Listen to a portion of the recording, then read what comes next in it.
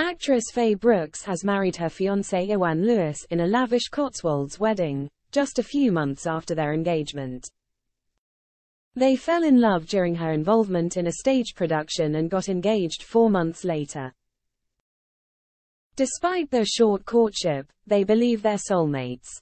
Faye, previously engaged to Gareth Gates, expressed how different this love feels.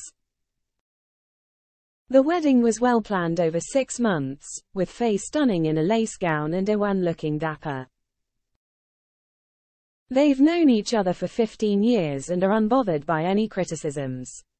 They're thrilled with their decision and embrace traditional gestures, with Iwan asking Faye's father for permission.